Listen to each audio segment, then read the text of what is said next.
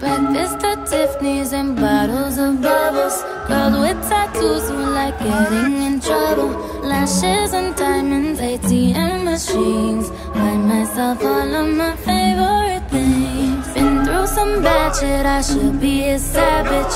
Who would've thought it turned me to a savage? Rather be tied up with calls and not strings. Write my own checks like I write what I sing. My